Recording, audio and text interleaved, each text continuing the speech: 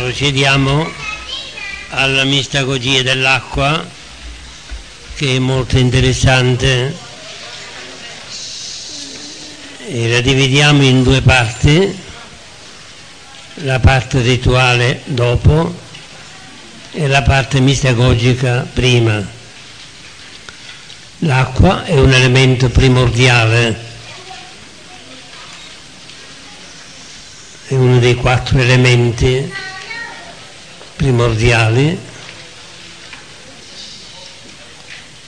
tanto che viene sfruttato anche dai maghi e dagli astrologi. È un elemento primo perché lo Spirito di Dio veleggiava sulle acque del caos. La formula chimica la sappiamo tutti, H2O.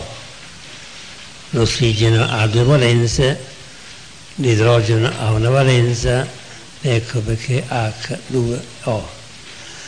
Però sono due elementi associati che se si scindono danno luogo a fuoco, una reazione chimica dove c'è un comburente e un combustibile per cui l'acqua è fuoco.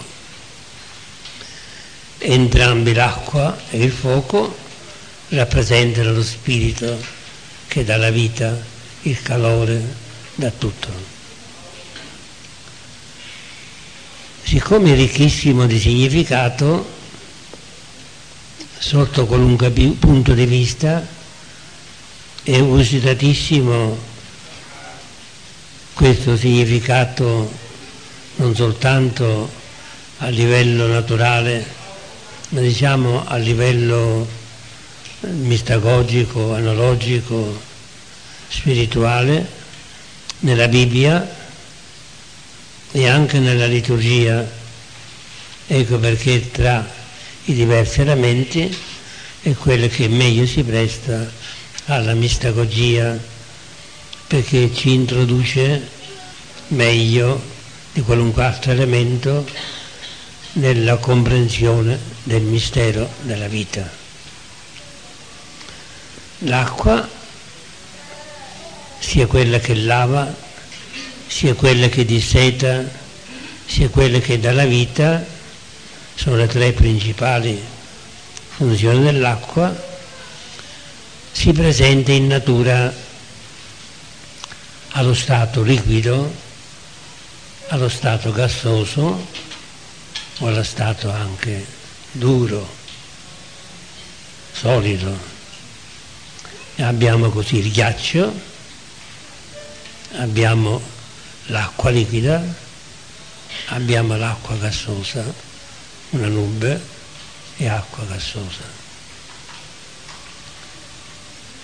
La temperatura ha molta importanza nell'acqua perché una data temperatura evapora e passa dallo stato liquido allo stato gassoso, le nubi che nascono dal mare, acqua evaporata, poi produrranno la pioggia.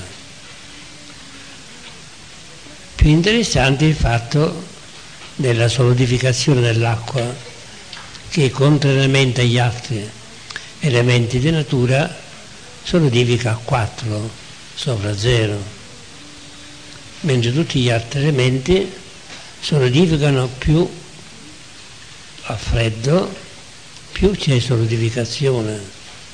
Un'eccezione fa l'acqua ed è provvidenziale questa eccezione perché se l'acqua solidificasse come gli altri elementi a più bassa temperatura e allora cadrebbe nel fondo del mare e avremmo tutta la terra sotto coperta, coperta di ghiaccio, la terra sarebbe inabitabile, gli animali non potrebbero vivere, mentre a 4 di temperatura galleggia sull'acqua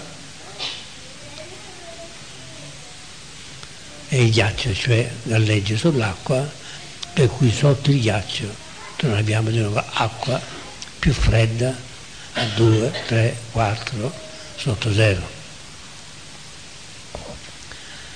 Si presenta come acqua del cielo, ancora, le cataratte del cielo per gli antichi, e attraverso la pioggia che dal cielo scende l'acqua, si presenta come acqua di mare, la grande distesa dei mari, dove sono concentrate le acque, le acque del cielo sono insipide, non hanno sali, mentre le acque del mare sono salate e amare perché hanno disciolto tutti gli elementi che sono sulla terra, sodio, potassio e tutti gli altri elementi che rendono la, la, l'acqua quanto più solida è, cioè meno liquida, tanto più amara come per esempio l'acqua del Mar Rosso, che è più pesante e più amara. Le acque del Mediterraneo sono buone, sono più salate delle acque atlantiche. Si presenta come anche acqua di terra, le sorgenti che danno luogo a fiumi, per cui abbiamo l'acqua del cielo, l'acqua del mare, l'acqua dei fiumi o delle sorgenti. Non accendiamo alle acque umane. Sant'Agostino, ho letto una tesi di laurea che una nostra sorella ha fatto, anche in base alle nostre istruzioni che abbiamo fatto qui a Margi Feraci e a quelle che abbiamo fatto a Pergusa su Sant'Agostino, l'acqua in Sant'Agostino ottenendo massimo dei voti, il plauso di tutti i professori e la stampa della sua tesi, oltre la lode e il massimo dei voti. E venne a ringraziarmi perché ha preso lo spunto da quello che noi dicevamo qui.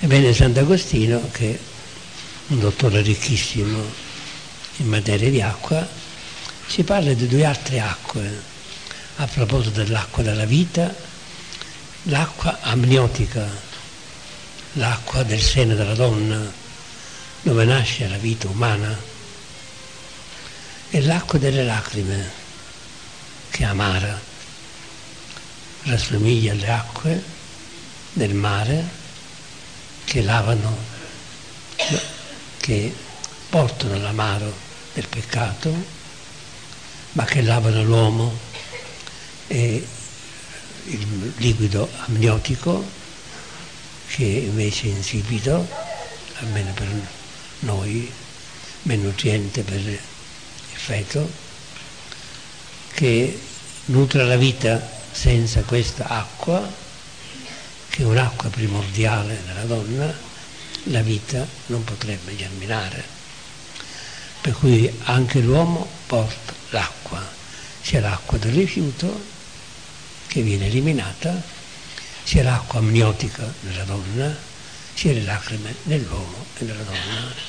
Poiché anche in questo senso ah, è un segno, un segno di vita, un segno che ritroviamo nelle altre acque, perché con le lacrime laviamo i nostri peccati, col con l'acqua amniotica diamo la vita, con le altre acque noi ci liberiamo da ciò che è scoria e non giova alla nostra vita. Detto questo, noi entriamo subito nel mistero dell'acqua come si presenta nelle scritture. L'uso dell'acqua lo conosciamo, serve innanzitutto per lavare. Tutti ci laviamo nell'acqua, ogni mattina facciamo il bagno o ci laviamo nell'acqua, ci purifica in senso così traslato noi ci laviamo dal peccato, ci laviamo dalle nostre macchie e nel battesimo l'acqua viene usata proprio per lavarci dei nostri peccati, non soltanto questo, perché nel battesimo ha i tre significati che subito vedremo.